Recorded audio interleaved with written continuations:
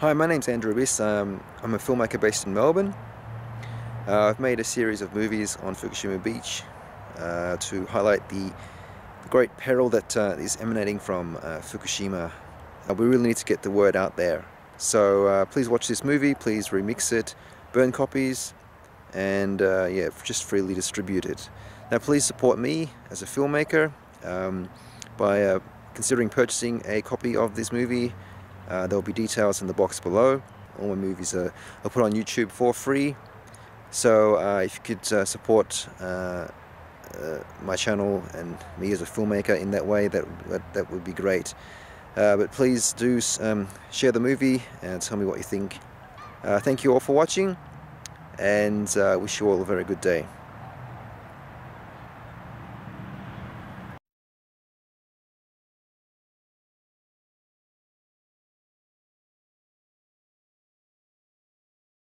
Let me assure you, the situation is under control. The latest result from Fukushima is the nuclear power plant suffered a 100% liquefaction. The core completely liquefied. There's nothing left. There's no hulk. There's no remaining collapsed core.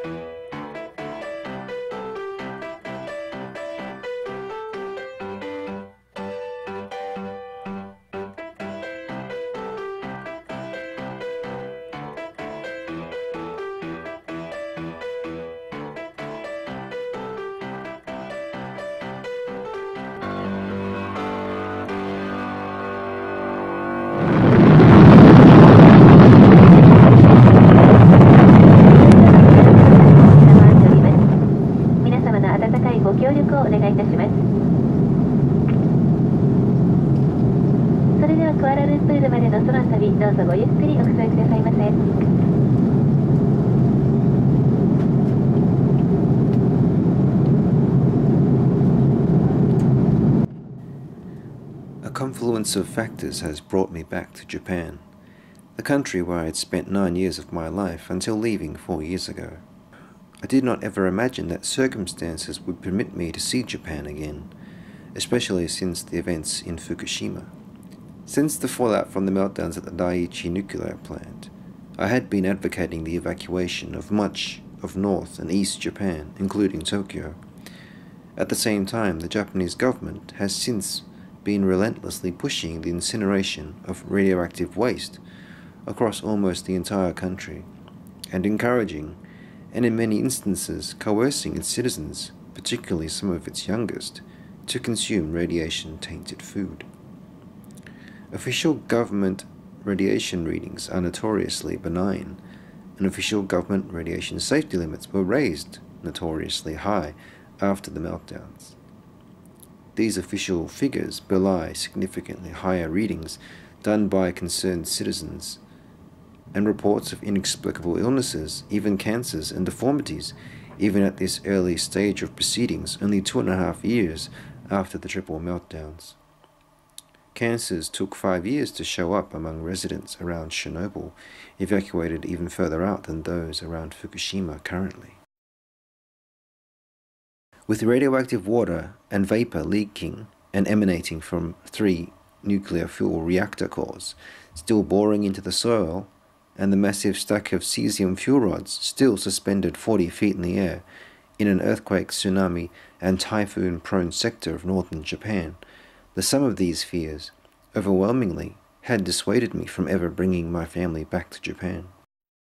In fact, these are not a summary of mere fears, but a summary of clear and present dangers, clear and present terrors that hound the largely unknowing, perhaps consciously unknowing, Japanese population.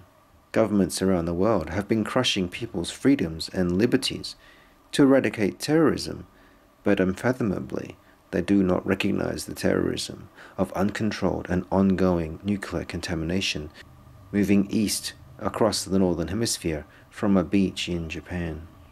The nation of Japan seems to have embarked upon one huge scientific experiment, one that seeks to discover to what extent and for what length of time a large region of a marvelously populous nation state can collectively live with and withstand unprecedented and uncontrolled daily doses of radiation, plutonium, cesium, strontium. The Pacific Ocean, North America, and the Northern Hemisphere have been signed up for this radiation deal as well. Ground zero for this experiment is not just Fukushima, but the great 30 million strong metropolis of Tokyo, which has been confirmed to have 5% higher levels of radioactive strontium in its tap water than even Fukushima itself. Numerous radiation hotspots dot the city, as well as reports of radiation induced illnesses. Yet my short week long stay in Japan is to be mainly confined to the Kansai region in western Japan, a region not as well known to foreigners, but just as enticing perhaps, more so than Tokyo ever was, as it encompasses, well it believes anyway, the heart and soul of the real Japan, as well as the great bulk of its rich ancient culture and history. Moreover, Kansai boasts a rare, rare jewel in the ancient and relatively unspoilt city of Kyoto, Japan's capital for 1,000 years. One could have thought that Kyoto and Kansai should have been spared much of the radiation, as they are relatively distant from Fukushima. No doubt the still very perilous state of the four reactor buildings, and their hitherto uncooperative radioactive contents, threatened them and the whole of Japan. Yet into this cauldron has been thrown the human element, or shall we say the inhuman element, the government, intervening, exacerbating the radiation dangers to the point where the ancient city may yet still be utterly destroyed. I can't see any easy way of persuading the governments of the world and the, the scientific committees, the bogus scientific committees that they've set up to operate this system of chicanery and lies, any way of stopping them. I mean, to be honest, these people ought to be sent to jail. And, and perhaps one day that will happen. Who knows? But at the moment, I see no sign of them backing off from what is clearly a very, very serious problem. And in my opinion, probably the worst public health scandal in, in, in human history, and one that is very likely set on destroying all life on Earth if it's continued unabated. This is really a serious, serious problem.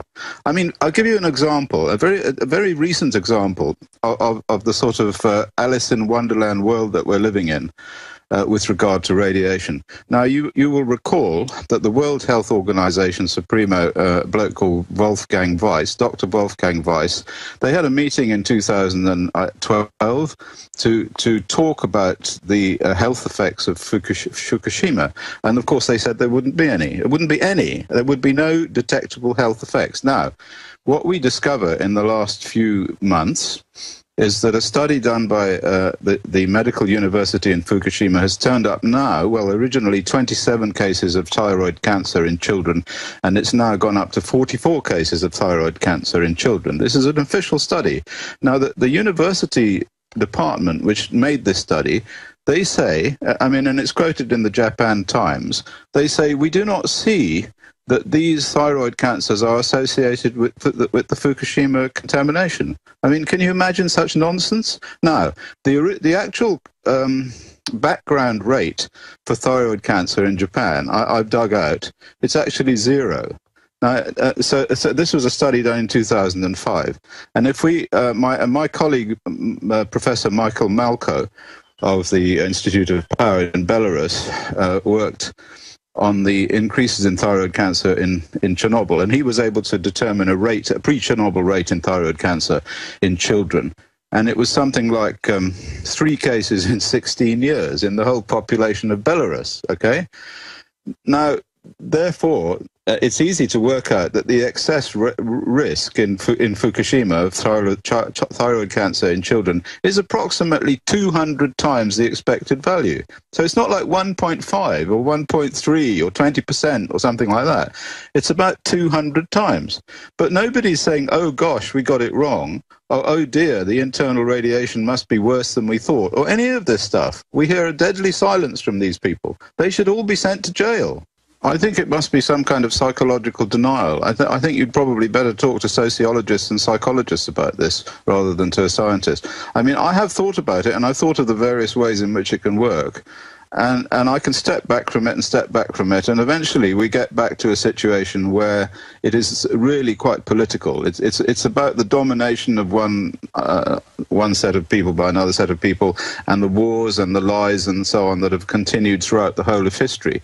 And so, in order to explain this, basically all you're doing is is is is explaining all the things that have happened in history, which are equally insane, to be honest. We've had situations like this again and again throughout history. And this, uh, so therefore, it's not really anything new there, except that in this case, it's a question of the magnitude. It's it's a it's a sort of third world war, isn't it? It's it's it's the it's the governments versus the people. It's truly extraordinary.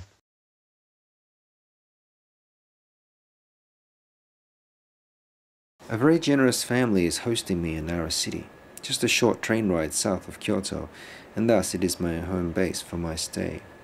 As I make my way to their house, my thoughts of radiation dissipate. I think only of how this used to be my home and how I have missed it. Even though at this point I have no Geiger counter, I see no sign and feel nothing of radiation, no mutations, no radioactive black dust. I had fears of such things being here, as one of my friends sent me an image of a terribly mutated flower from neighboring Kyoto two months before. I find myself even bemused at my radiation fears. It is believed that the freely roaming Nara deer are divine and thus afford divine protection to Nara itself. It seems on this inspection this still seems strangely true, even after 311. I find here a place in Japan in which the Heian period, in many ways, has never really ended. No nuclear plague to be found. The only nefarious invasion by foreign bodies discernible is a jovial German folk inspired brass band inexplicably promoting the coming of Nara Oktoberfest in June.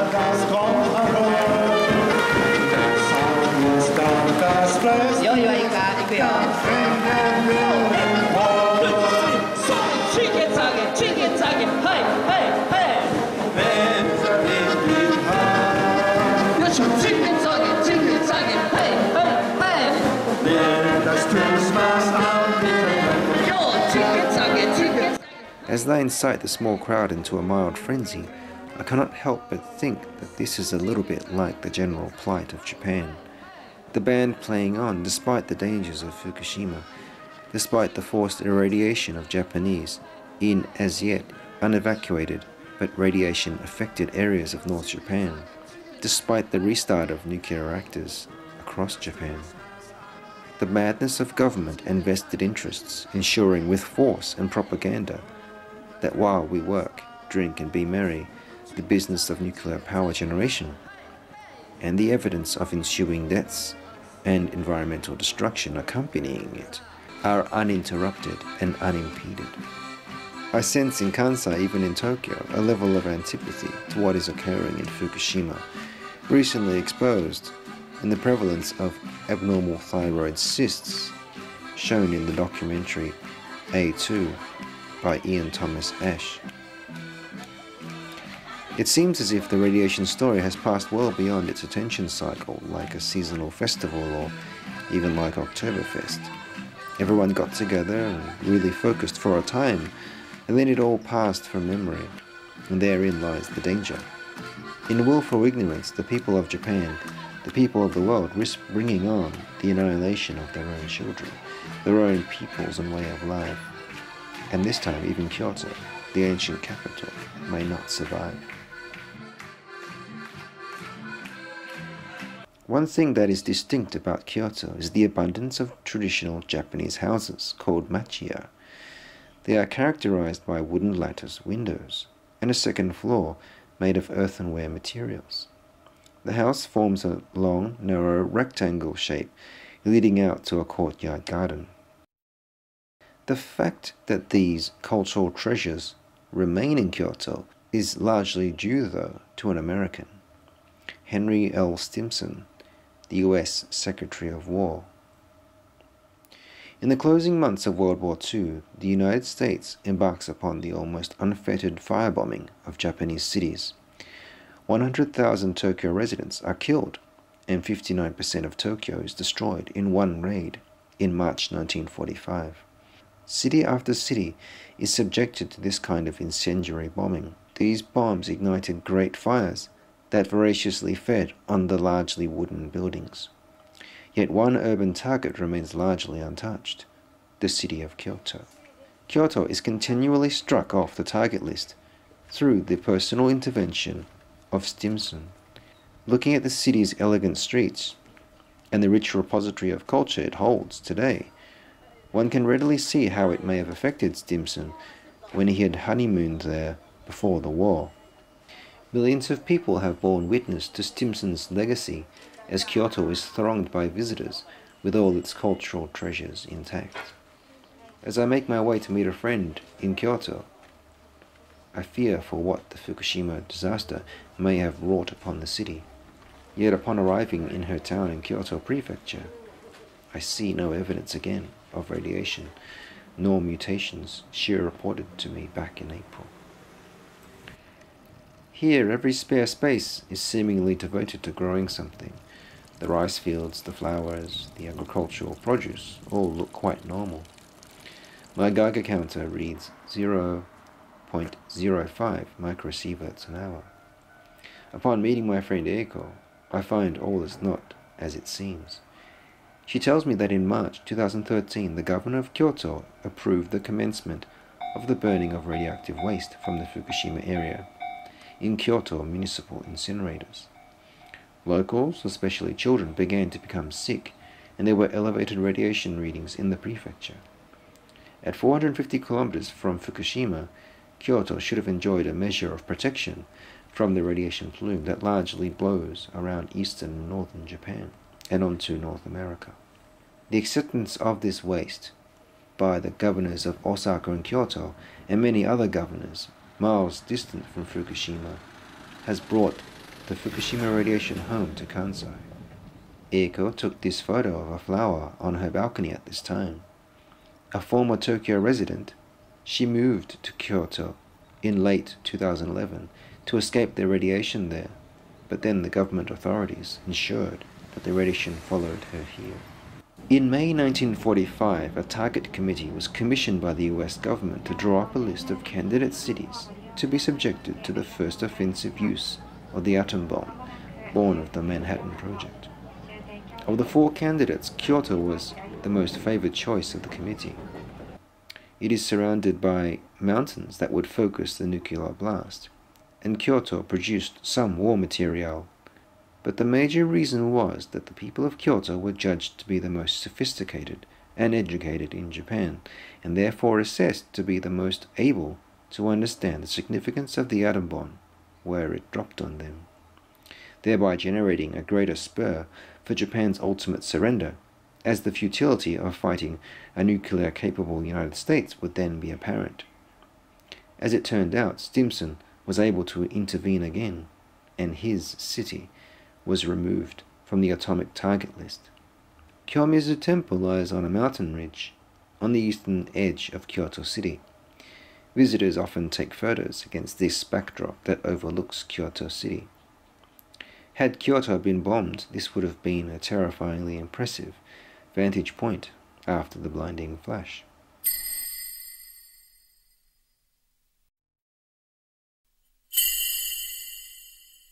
Such is the wrath and providence of history. Kyoto was spared by Stimson. Kokura was spared from atomic bombing by a heavy cloud on August 9, 1945. Hiroshima and Nagasaki were the cities that will forever be associated with the atomic bomb and the plague of radiation that followed. Come 2013, it is not American B 29s that threatens Kyoto with radiation, but in one of history's most sickening and twisted ironies, the radiation threat comes from Japanese government officials. At Kyoto Station in March 2012, they made their case that the incineration of Tohoku radioactive waste in Kyoto was safe. There were even several persons planted in the overwhelmingly angry crowd holding up pro incineration placards.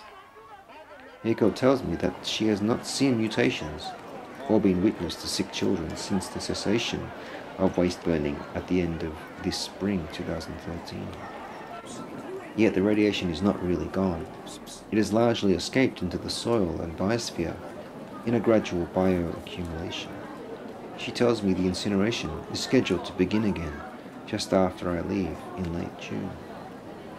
As it turns out, I really have arrived in Japan at the worst time to be hunting radiation and radioactive hotspots. Despite the monstrous radioactive plume emanating from Fukushima and the continual leaks from the three devastated reactors into the Pacific Ocean, the greater menace at this time in mid June is a monstrous seasonal typhoon tearing its way through Kyushu and southern Japan. So large are these typhoons that they render even more central Japanese cities such as Osaka and Tokyo on their periphery watery urban morasses. Only for a few hours a day is it not raining. I think to myself that it is safe to say that the typhoon is blowing the bulk of any radioactive plume out to the Pacific. As the rain drags on, I make my way by night bus to Tokyo, under cover of darkness, so to speak. I am a little nervous at the prospect of going there, and at the same time feel some self loathing, as the radiation perhaps couldn't really be that bad. These are the kind of mind games I discover Eiko plays too, living in Kyoto. You know that the radiation is around somewhere, but you shut it out of your mind just to get on with those around you, dropping in and out of both a constant wariness and a lulled complacency several times a day. The apparent normalcy of life in Osaka and Kyoto makes inroads into my thoughts that Tokyo will be almost surely the same. In fact, Osaka and Kyoto seem to be experiencing somewhat of an economic mini boom, as tourists from Asia are flocking to the area. Kansai International Airport brings in plane loads of visitors from Hong Kong and mainland China, attracted to the bustle and commerce of Osaka and the temples and shrines of Kyoto. But this belies a darker truth that is greatly due to the gradual and inexorable depreciation of the yen, spurred on by the rampant money printing of the Abe government. The TV news is permeated with reports of food price rises, coupled with the hiking of the consumption tax come July. Moreover, the influx of tourists here in Kansai is due to a silent consensus among them that the radiation in East Japan and in Tokyo is much greater than the government is conceding. Thus, these Chinese visitors are voting with their yuan, or currency exchanged yen, as to where it is truly safe to set foot in Japan. Not that Kansai is in any way immune to what is occurring in Fukushima. The reports from Fukushima tell of continuous and critical radioactive leakages that contaminate the groundwater, far around reaching well beyond Tokyo. Independent video reports reveal still astronomical radiation in areas well beyond the evacuation zone. Sterile external shots of the buildings at the Daiichi facility on the news tell nothing of the burning nuclear fuel inside and beneath them, nor of the radiation it is bringing to the people around the northern hemisphere. As my bus reaches in closer and closer to Tokyo, I remember how much has happened to the city since I left, and how much I missed the place, and the guilt for being wary of it ever since 311. I am awake to find that we are approaching Yokohama, a city in its own right, but often thought to be a glamorous satellite of Tokyo. Since the days after 311, I have thought the whole city to be a metropolis living on borrowed time. A complex leviathan, an economic, political, and cultural powerhouse of a city in decades of denial that it should have been relocated westward long ago, as it was settled on an active fault line. 311 only reinforced the folly of delaying the relocation much more. A government commissioned scientific study in the days after 311 on the ramifications of the accident was suppressed by then Prime Minister Naoto Kan.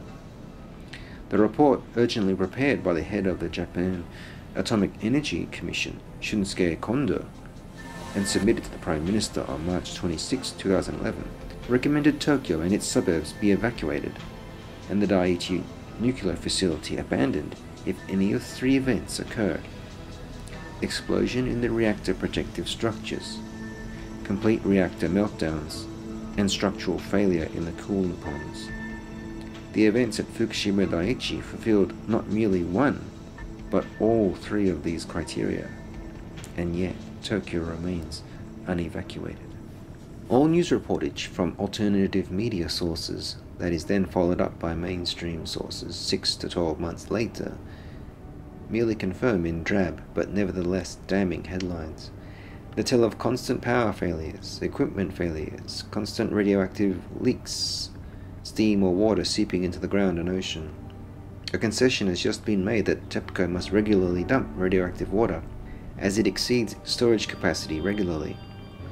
All this peaceful looking chaos management at a highly radioactive site is predicated on the hope of another earthquake not hitting the area for decades to come. As my bus reaches closer to central Tokyo, my Geiger counter merely registers 0.03 microsieverts an hour. Despite what I know to be true at Fukushima, I begin to feel that if there is radiation to be had here, I won't be finding it. My counter is less than ideal for radiation readings in soil. Tokyo soil that nuclear engineer Arnie Gundersen tested to be of the grade of nuclear waste. in five different sample locations in 2012. I alight at Ueno Station. Ueno Park is right by, a ripe candidate for some testing. Trudging around after another night of typhoon rain, the counter never gets beyond 0.05, even on the ground. Either the typhoon is blowing the airborne radiation away and is washing any surface radiation deeper into the soil, or we have a completely overblown and illusory radiation threat in Tokyo. Through the saturated torii gates and down to Shinobazu Pond, Ueno is not revealing anything damning. It has, like Nara, perhaps stood still in space and time, oblivious to faraway man-made disasters. Making my way back up the hill, I find Ueno and Tokyo itself is starting to awake. People are making their way to and from the various museums located in and around the park. School children are filing in orderly hordes to Ueno Zoo from the train station. I notice the sky is becoming less overcast. It is warming up, and the sun is breaking the dominance of the typhoon for now. I let my feet dry a little and watch the kids beam past.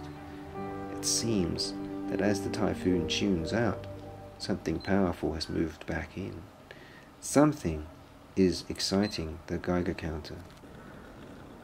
The counter can't distinguish between alpha, beta, and gamma rays, but within it, the tube of normally inert gas is being charged. Within the tube is a positively charged rod, and the tube itself is negatively charged. As ionizing radiation enters, the gas within it becomes ionized, with electrons making for the rod and ions for the tube wall. In the stampede each way, it creates a cascading current that the Geiger counter measures and displays on the screen. The counter suddenly reads 0.1 microsieverts an hour in the increasingly sunnier weather. As the number of children increase with the sunshine, the radiation seems to respond in kind. It seems I have found the radiation I have been looking for. These kids' young bodies are still developing rapidly, and hence they are the most vulnerable to the radiation present. One professor advised thus that children should not squat on the ground as is traditionally custom. It should alarm every parent in Kanto and North Japan, as their children inevitably will play daily in and encounter radioactive substances from Fukushima. Even though Naoto Kan did try to get more truth and accountability from TEPCO after the accident, and has become somewhat of an anti-nuclear figure since his ousting as Prime Minister, the truth and veracity of the damning Kondo report calling for Tokyo's evacuation, that Kan himself quashed, is nevertheless becoming more and more difficult to dismiss.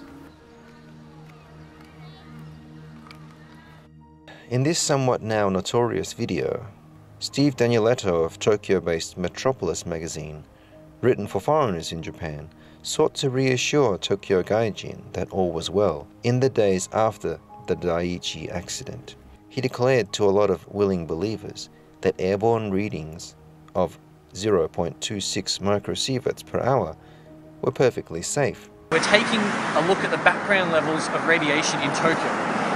Currently the levels are around about 0.2 microsieverts, which is the Tokyo normal level.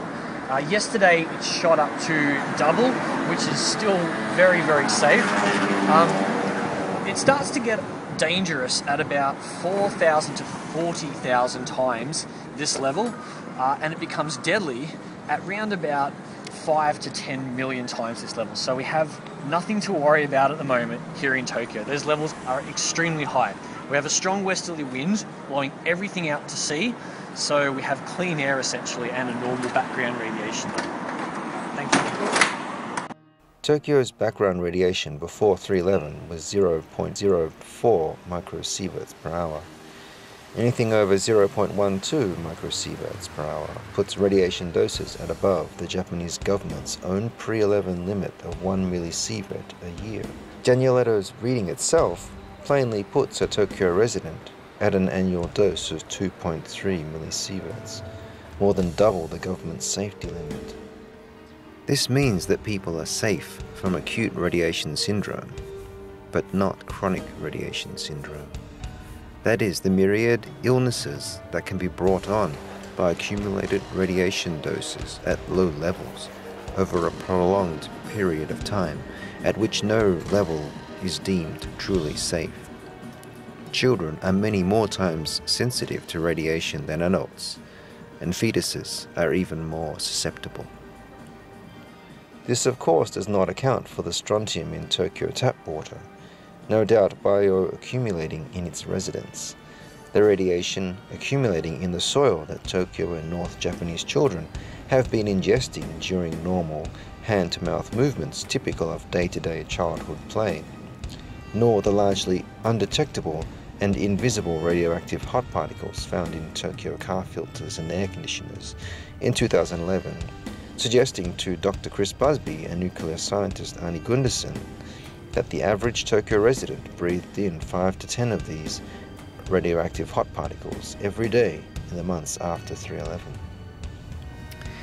Physicist Dr. Karl Morgan was a Manhattan Project scientist who turned against the nuclear power and nuclear weapons industry after being one of its most celebrated and staunchest adherents when he discovered that even low radiation doses, such as those found in Tokyo, do indeed cause cancers and leukemia.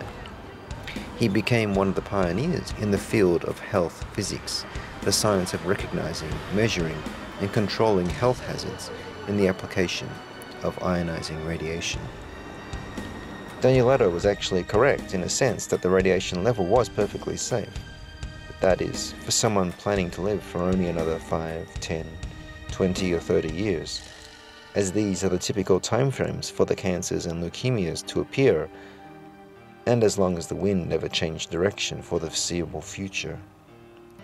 Perhaps his fears were assuaged by the Japanese government raising the radiation safety limit from 1 to 20 millisieverts a year, only to have the limit revised back down to 1 millisievert at the angry behest of Japanese parents. The 1 millisievert a year level is predicated on the pre 311 understanding that even low radiation exposure can be deadly over time. Metropolis wisely placed in a disclaimer in their accompanying radiation article stating that they are not nuclear science experts, and here it shows abundantly. What cannot be disclaimed is that the radiation is blowing out to the Pacific Ocean and on to North America dismissively referred to as if it were of no consequence. Unfortunately, the consequences are real and tangible.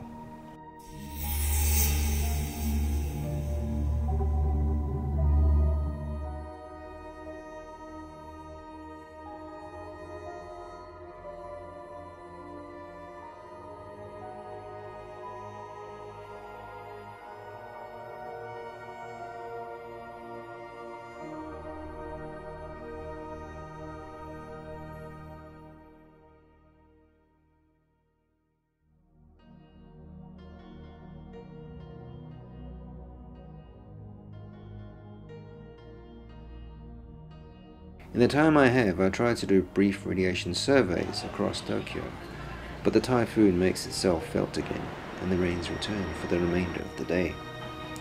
In Roppongi, Shinjuku, and Shimokitazawa, I find readings at the 0.11 to 0.12 microsievert level.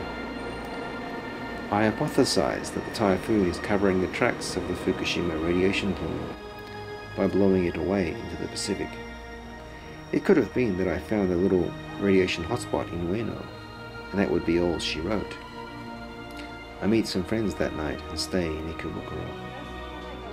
Whatever radiation I find in the air, the Fukushima crisis seems to be morphing also into a crisis of water. In August 2013, the Japanese government will finally admit, and the New York Times will finally report, that 400 tons of radiation contaminated water has been going into the Pacific Ocean daily since March 2011. In a bizarre reversal of events of 311, where a tsunami of seawater hit the Daiichi plant carrying debris inland, what has gone on since is subsurface groundwater from the mountains nearby has been naturally coming to the coastal nuclear plant. acting as a silent but menacing subterranean tsunami, as it is carrying with it the radioactive debris from the three melting down reactors, along with substantial leakages from the contaminant water storage tanks down into the Pacific Ocean.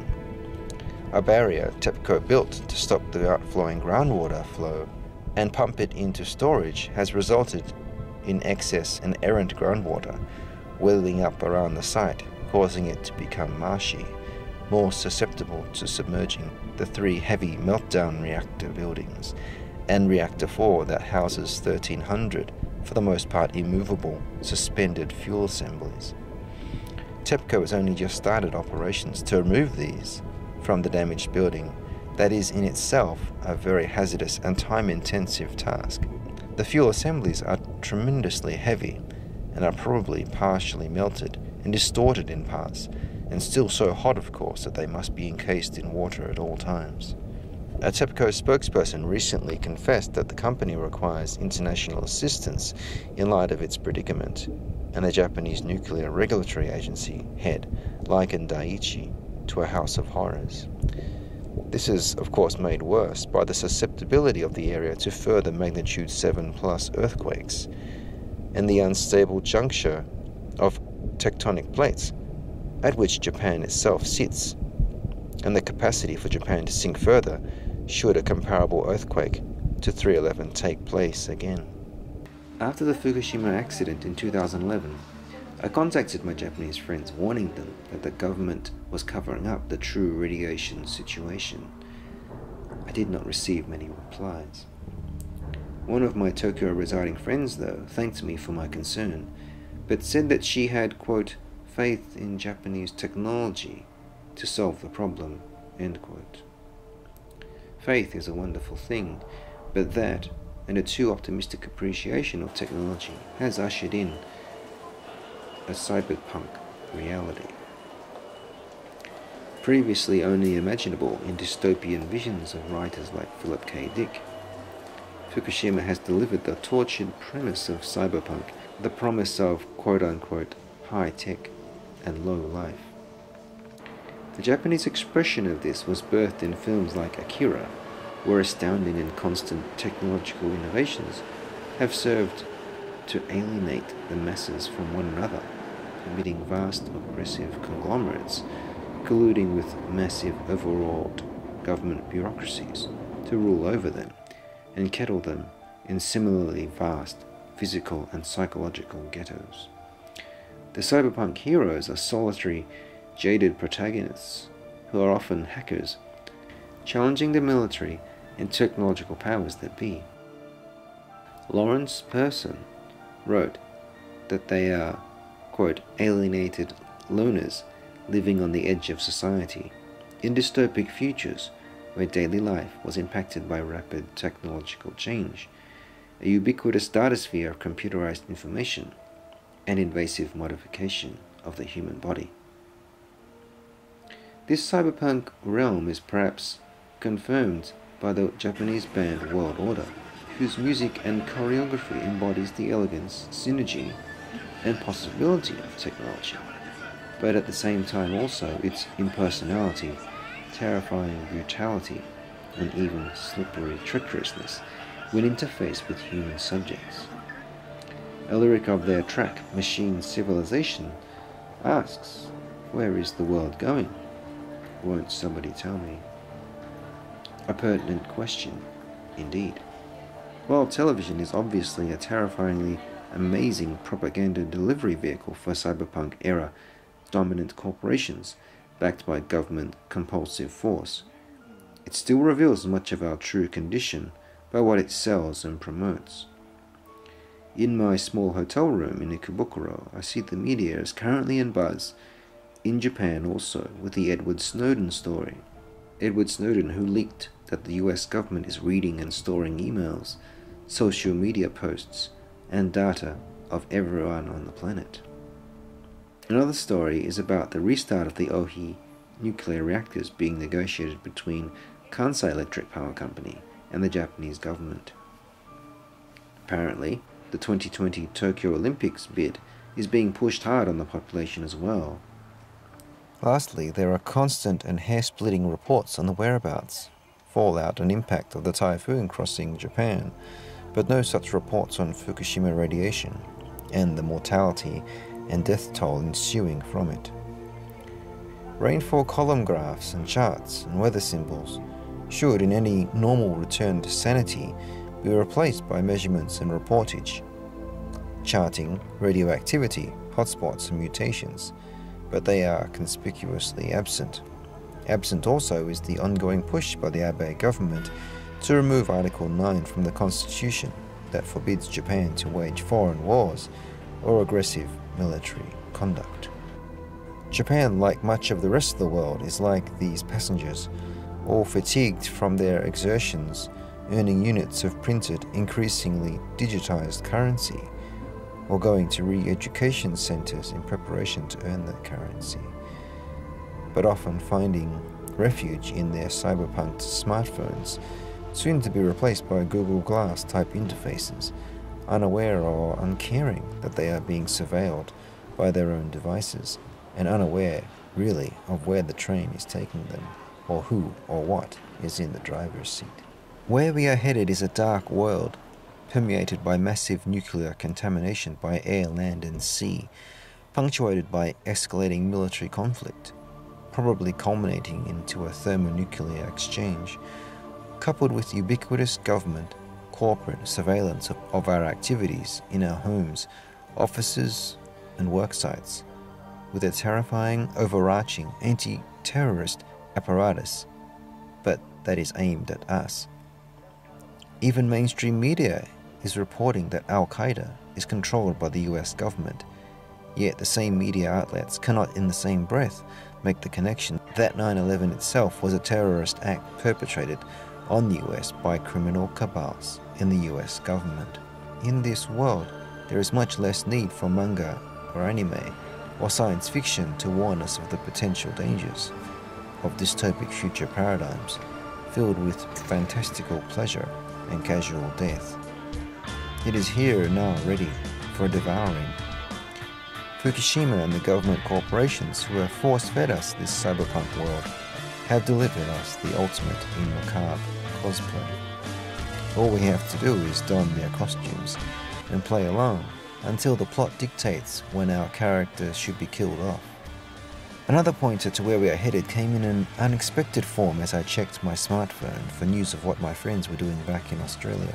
A recently emigrated Bulgarian acquaintance of mine declares on social media that she used to cycle 200 kilometers to raise money for cancer research.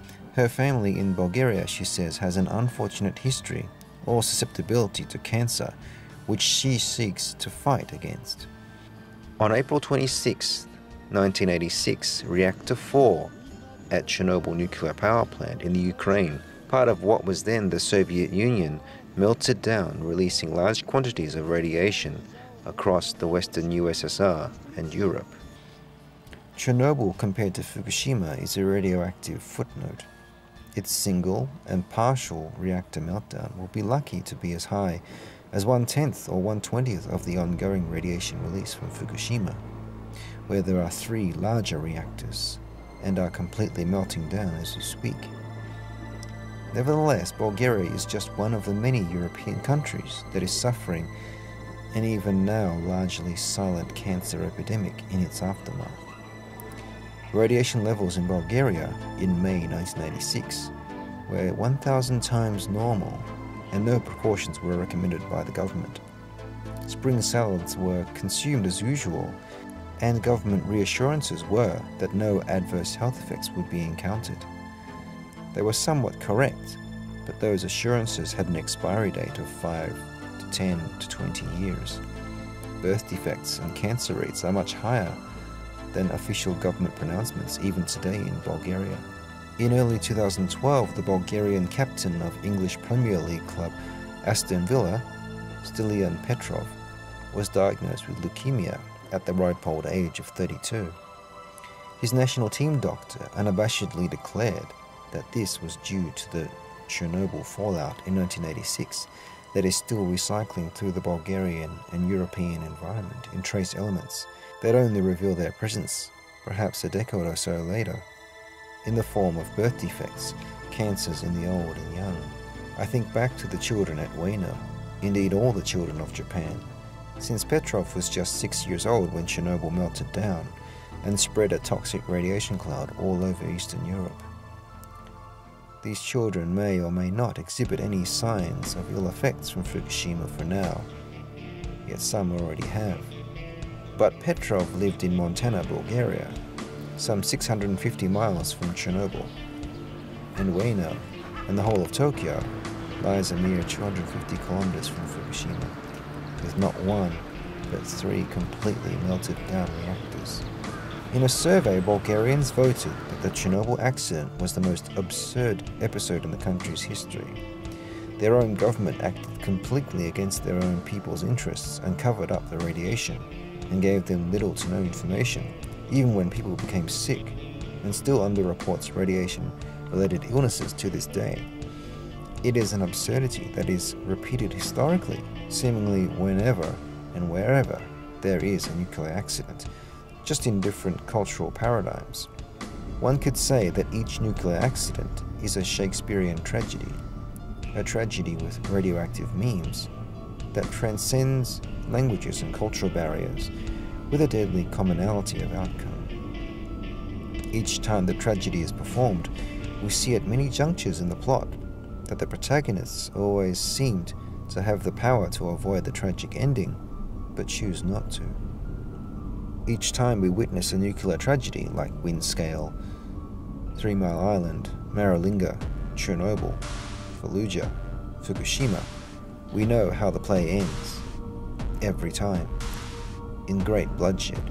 The same pattern is played out each time government and corporate denial, silent releases of radiation, media silence, and unaccountable illnesses and deaths in the populations affected just performed in different languages and accents on each occasion. Only Fukushima is by far the most lavish, and thus most deadly tragedy to be put to the stage. Again, as if to answer world order, this is where we are going. Random, inexplicable, even sudden deaths, drastically shortened lives, more and more young adults and kids with cancers, children who should be bursting with vitality instead struck down with life debilitating illnesses, miscarriages, destruction of our genetic code and our biosphere. The fact that Fukushima radiation dwarfs Chernobyl only serves to bring the cancers and leukemias on much faster in an ever broader death toll on populations near and far from it.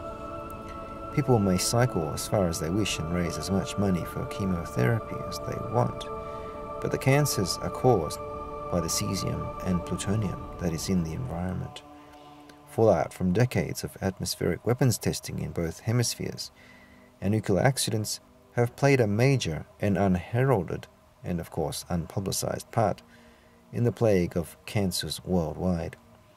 Fukushima is, however, the one that trumps all previous accidents and radiation releases combined, and is ongoing. What is more, Fukushima has a lot of nuclear plants worldwide that are seeking to challenge its title crown as the worst nuclear accident in history. A recent report stated that 91% of nuclear reactors across the globe are leaking. The typhoon is dispiriting to say the least. Nevertheless, it is hopefully for me blowing away any radiation and radioactive hot particles out to sea. But at the same time, that is what I am hoping to find and measure. While I play these mind games with myself, some personal business has landed me in the nondescript residential town of Kanamachi, on the eastern side of Tokyo. This is where high radiation levels have been discovered before, in nearby Matsudo and Kashiwa. With my errands done, I try some Geiger counter readings in a children's park. The airborne radiation here reads high, so now soil reading. It strikes me that this could very well be considered sovereign Australian territory. The Australian government refuses to confirm or deny whether it supplied any of the uranium that fueled the melted down reactors at Fukushima, as it has a confidentiality agreement with its nuclear customers.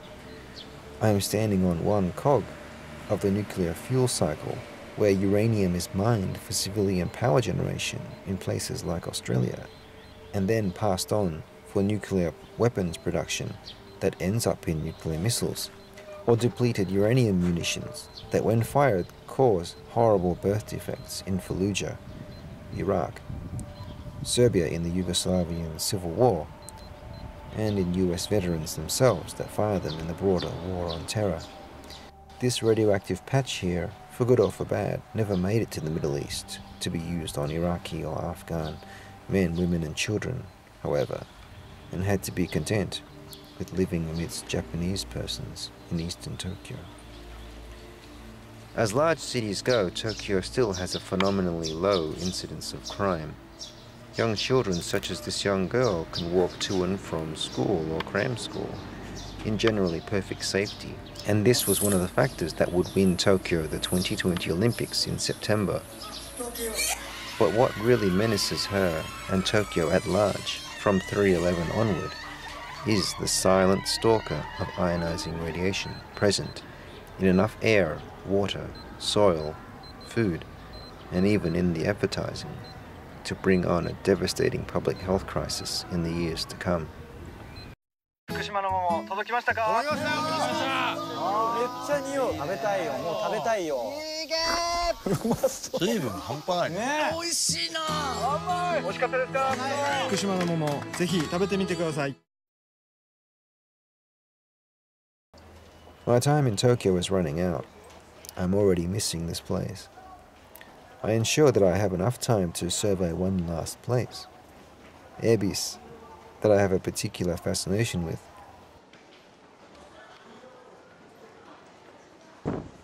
Every Christmas, Ebisu Garden Place has an illuminated chandelier as its centerpiece.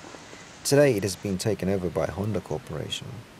They are showcasing their latest hybrid motor car that promises to reduce CO2 emissions. Overlooking the car below from a mezzanine, I set up for one last reading before I meet friends briefly and set off back to Nara. There is ionizing radiation even here, with the typhoon in full swing. It looks to have made its mark here in Ebisu. The United Nations has declared that CO2 emissions are creating dead zones in oceans, poisoning rivers and drinking water, as well as changing the climate. It is beyond incompetence and negligence that the very same organization cannot see this poison present before me. Carbon dioxide that is breathed in by plants to create oxygen, and not the radiation, is what we are told is the bane of our existence and the greatest threat to our environment. How the radiation will affect those unknowing, or those dismissive of its long term health effects, even in low doses, only time will really tell. What is disturbing is the number of radiation sicknesses that have arisen in little time that has expired since March 11. With cesium levels in Tokyo now confirmed to be much higher than previously thought, and cesium levels in Tokyo tap water confirmed to be as high, if not higher, than Fukushima. I recall a couple I know who left Tokyo for the United States a month earlier. Their three year old child developed restrictive cardiomyopathy, where the heart does not beat nor circulate blood properly. The cause of such a life debilitating condition is, according to medical authorities, not known. Those who have studied Chernobyl victims and the fallout's effects on children's hearts there point to radioactive cesium as being the cause. When speaking of Fukushima's multiple meltdowns, this is Chernobyl again, but written this time on a vast global canvas, many, many times larger. Arriving back in Nara, I hand back my Geiger counter to a friend who had lent it to me.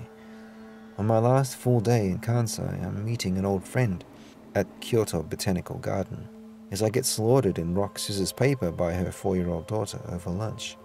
I think intermittently about what I found at the garden entrance a few moments before.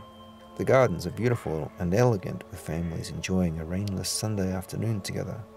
Just like in Eiko's neighborhood in South Kyoto, there are no signs here of any radiation mutations that came in April. Those mutated plants, I assume, either withered away or have been culled, except for these two. On my last day, I have found a tangible sign of Fukushima in Kyoto. I have no Geiger counter now, but I am in lesser need of it. I can see the radiation with my own eyes now. Eiko had told me in general that Japanese people don't want to talk about the radiation, so I make no mention of the flower. Again, talking about the radiation would seem, in the eyes of most Japanese generally, as a form of unwarranted complaining about things that cannot be changed, like the weather. Rain, they say in Japan, builds character, and radiation, it would seem, is judged to do the same. Back in Kanamachi, Tokyo, I spoke briefly to an elderly lady about her feelings about the situation and if she saw any change in the environment. ね手で触ったらよくないなあ体にそう放射線の影響かなねもう市民はどどう考えますかあの放射線についてあのー心配とか心配心配けどしょうがないねわ からないの。うんうんうんかがってないから。そうそう。だ誰も引っ越す？あの、あの引っ越す人がいる？の多分関西に引っ越せば。わかんないよね。市民はしょうがないね。ねうん。うん。そう今日はありがとうございますねどうもはいすみません Shoganai is a Japanese expression as predictable as the sun coming up in the morning. It summarizes the current majority of Japanese thinking towards Fukushima and the radiation. Many of my Japanese acquaintances are evasive on the subject, let alone my non Japanese friends, who truly regard Fukushima and 311 as ancient history. It has even estranged me from many of them, as if radiation is a word not to be spoken or uttered, in a kind of cultural or commercial self censorship, myopia or denial, whatever one wishes to call it. Eiko tells me that the most belligerent Japanese in the face of Fukushima radiation are young mothers. For her, Japanese men have abdicated their responsibility as protectors of the household and of the nation, as they often toe the company line and the government line and go along with official pronouncements. In this current state of affairs, we are merely encouraged to remain stationary witnesses to a grand murder, the murder of Kyoto. It is tempting to over romanticize Stimson's sparing of Kyoto from incendiary and atomic destruction. Stimson reportedly hated war as he was a World War I veteran. He was, however, a distinguished member of the notorious Skull and Bones Society from Yale, no doubt providing powerful contacts and privileges in his rise to ever more prestigious and lucrative positions. Skull and Bones philosophy is infamous for double crossing other parties. Doublespeak and the brutal application of military force in order to achieve objectives. Stimson oversaw the targeting and bombing of civilians during World War II. His sparing of Kyoto seems not to be so much the work of a political angel, but rather that of a concentration camp commandant not executing a prisoner whose appearance reminded him of a dear and close relative. The bombing of cities was a means to a greater end. In directing and nurturing the Manhattan Project to create the bomb, he saw an opportunity to use the destructive power of the atom to usher in or force feed the world an era of new nuclear powered security where aggressors could be deterred or destroyed by this righteous weapon under an umbrella of American dominance. Stimson believed that the technology could be controlled. Technology can indeed be a wonderful benefit to us all, yet Fukushima is the latest and greatest example of how it can become like Tolkien's Ring of Power. It has come to be wielded with not merely reckless but also tyrannical abandon by an untouchable corporate military elite that propagandizes it to be infallible and ever beneficial. What market forces and the kind of concentration of the global mafia has been able to do is to produce such an enormously powerful military and uh, nuclear orientated structure that, that, that it's possible to choose scientists and to pay them pay those scientists that you want to tell you the things that you want to hear. And terrible things can happen because then they can acquire around themselves other people like themselves and then you end up with a situation which is monolithic and virtually impossible to, to, to deal with. What we have now is something that is it is almost universal and global. All of these things have, have conspired together to increase the concentration of radionuclides in the environment to a level where it is now threatening life on earth after the atomic bombing of Hiroshima on August 6, 1945, Stimson issued a statement from the War Department to explain the use of the bomb and heralding its creation as being the culmination of years of Herculean effort on the part of science and industry working in cooperation with the military authorities. He thanked the corporations too numerous to mention exhaustively, but singled out a few Union Carbide, DuPont, Kellogg, Chrysler, General Electric, and Westinghouse. One of the companies he was remiss to mention also was Monsanto, as it was crucial in the uranium enrichment process. It is these corporations today that are dominant players in the military industrial complex that has taken over the reins of the US government. Stimson in 1945 probably never saw the cyberpunk era that he helped bring about coming in and usurping his utopian visions. Then again, maybe he knew all along about what would arise from it. We can't know for sure. It is apparent that the technology and the output it discharges is being used against us for the benefit of the few, leaving many, many minions alienated, divided, contaminated and dying, often unknowingly, and surveilled constantly, with brutal state violence ready to pounce should anyone seriously challenge it. If we cannot challenge the cyberpunk corruption manifested in the Fukushima cover up, the radiation raids on Kyoto will continue. It will come from the nuclear waste incineration that will make the city more and more radioactive. It is coming from the constant radiation leakages at Daiichi that threaten the whole of Japan and the northern hemisphere at large. It can easily come from the broader regional or global thermonuclear exchange, as the Japanese government is seeking to overturn its own non aggression stance and is verbally sparring and shadowboxing with China and North Korea, in tandem with the broader worsening situation in Syria and Iran being stirred up by the Obama administration and the CIA. In nurturing the Manhattan Project, the Fukushima tragedy has ironically revealed the folly of Stimson's imperial idealism. In believing that nuclearism could usher in a new era of peace by deterring aggressors, Stimson helped create the nuclear armed military industrial complex that threatens to destroy his city today. His wartime subordinate, Dwight Eisenhower, one of his proteges, he molded and nurtured, became president in 1953 and created the IAEA, a UN body tasked with promoting nuclear power and therefore loath to ever condemn or act against the nuclear industry, even post Fukushima. Yet Eisenhower, at the end of his tenure in 1961, saw some of the light and contemplated the enormity of the monster he inherited from Stimson and Truman that he himself gave further sustenance. We must guard against the acquisition of unwarranted influence, whether sought or unsought, by the military industrial complex.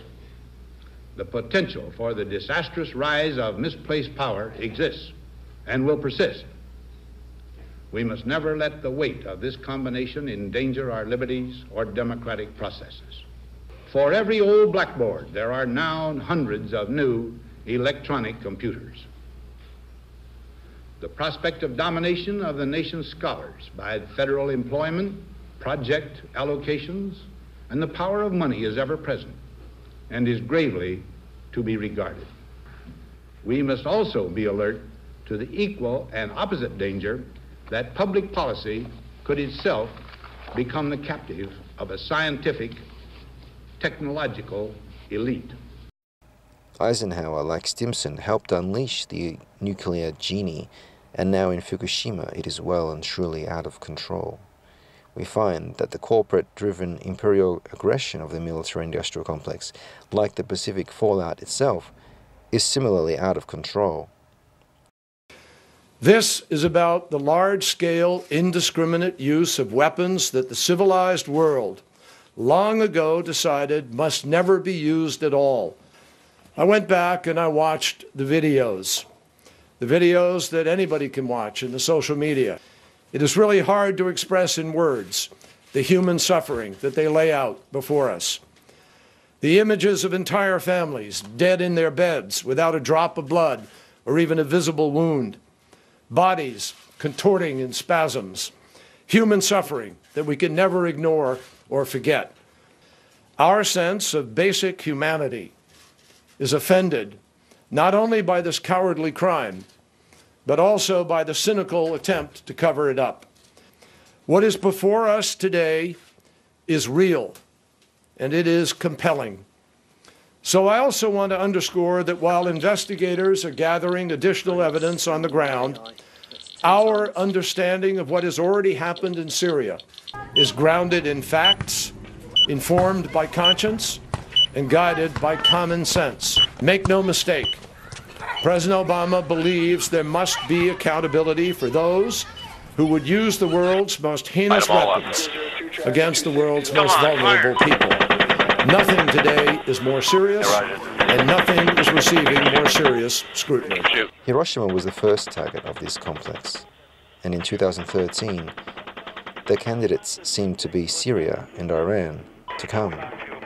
The complex may just start a thermonuclear confrontation with Russia and China in the process.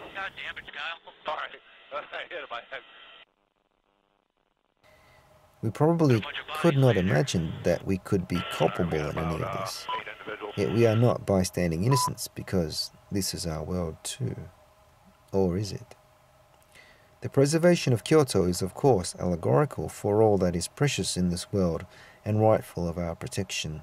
If we cannot overturn what is going on, then we are culpable in its and our own destruction. A visit to Todaiji Temple, just south of Kyoto in Nara, is a perennial rite of passage for almost every Japanese schoolchild. Buses bring school groups here from across Japan almost daily. Within the temple is a huge stone Buddha. Behind it, on the right, stands one of the large pillars with a narrow passage in its base. It is believed that if one is able to squeeze oneself completely through to the other side of the pillar, then enlightenment is attained. The children manage it easily, with a commemorative photo to boot, but the adults often struggle to do it so easily.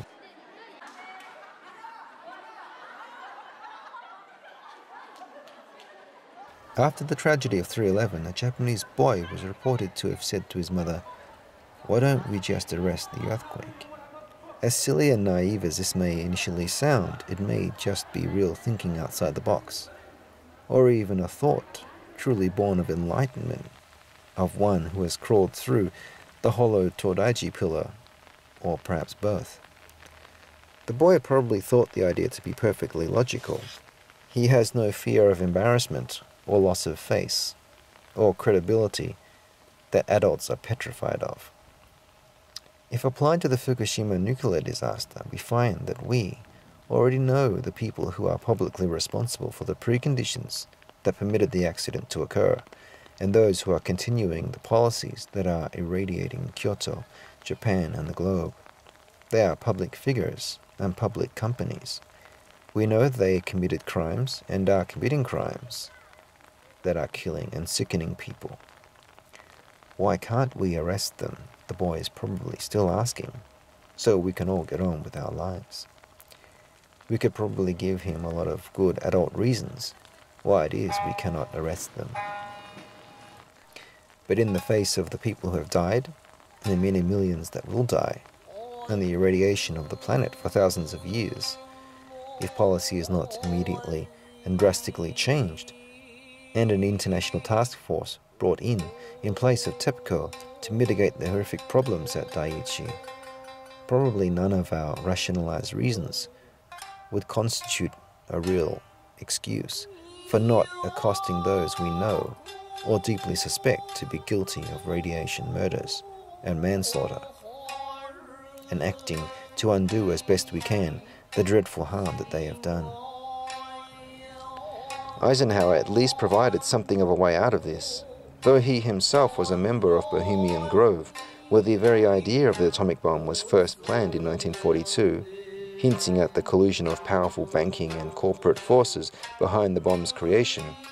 He nevertheless warned the American public in his farewell speech that only a knowledgeable and alert citizenry was capable of keeping the terrible power of this military industrial complex in check and keep it subservient to the needs of the public. Any quick reality check today will easily bear out that a mere handful of corporations own the mainstream media in America. GE even has its own media conglomerate in MSNBC and rampant infiltration into the White House and the Department of Energy. We find today that the military industrial complex and its military entertainment complex arm have propagated an alert and knowledgeable public, but overwhelmingly focused on these areas of expertise. Only a truly alert and knowledgeable citizenry, indeed, can compel the truth of what is occurring at Fukushima to be exposed and demand a credible international task force be assembled to deal with it. Before we leave Kyoto, perhaps we should visit one last place together. Kinkakuji Temple, the Golden Pavilion, draws hordes of visitors contemplative of its perfected beauty. In 1950, a young monk reportedly became so enamored and obsessed by it that he set fire to it, destroying it completely.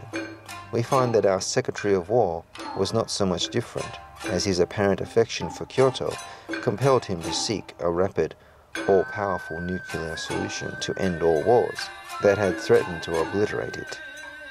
Yet his powerful nuclear asset has become deeply corrupt and has metastasized into unchecked and all powerful corporate leviathans collusively backed by the United Nations and the banking families that created it, waging an undeclared nuclear war of global fallout and contamination on the Earth's peoples by means myriad and beyond even nuclear. They leverage their wealth and power on the destruction of the health and liberties of these people. Their success depends on our degradation and elimination. Those invested in depleted uranium and nuclear energy, for example, figures as publicly visible as the Queen of England and Bill Gates, cannot be bargained with. Their philosophy of domination demands that eugenics be carried out. The people of Fukushima, Tokyo, North America, indeed the whole northern hemisphere, you see, must take this radiation hit. They must be sacrificed in silence so their abhorrent system of technological eugenics can live. They are the food upon which the military industrial complex system is designed to feed. Now it is this power, the nuclear and corporate military power, agglomerated originally in the Manhattan Project, Stimson's power, that we must seek to eradicate if his city is to be preserved and we are to live. If there is no change, then we are aiding and abetting the bombing of Kyoto. If there is no change, then we may as well be co pilot or bombardier on a modern day flight of B 29s, participating through passivity in the radioactive bombing of ourselves and our own progeny. This time we have to save Kyoto ourselves. There is no Stimson to countermand our bombing orders. There are millions of us who profess to love Kyoto's beauty and history, and billions of us who profess to cherish this planet. If we cannot be moved to change our course, then the world below us will be changed to one that we can no longer inhabit. The truth of what is happening at Fukushima, and now, by extension, what is happening in Syria, can only be effective if it and the movements that are trying to expose these truths deploy out of cyberspace and into physical spaces and becomes pervasive, ubiquitous, and visible so as to point the finger at the radiation that is invisible but is nevertheless spreading throughout the Pacific Ocean and the Northern Hemisphere, and to indict and to put to trial the persons, corporations, and collusions that are responsible for the ongoing radiation of the biosphere and the threat of thermonuclear war. We don't have very much time, as our plane will be over the target soon. It really is now or never. Beyond the din of the engines, high in the cloud as we are, we have to remember and base our decisions on the value of the life, the lives of myriad sentient beings in ecosystems that stirs below to guide how we respond in this crucial episode in the future of our planet. We know where this plot in the Fukushima tragedy ends. We've seen this play before. The outcome we know, but the outcome can be whatever we want it to be, if we are strong enough, and if what good remains in this world is worth saving.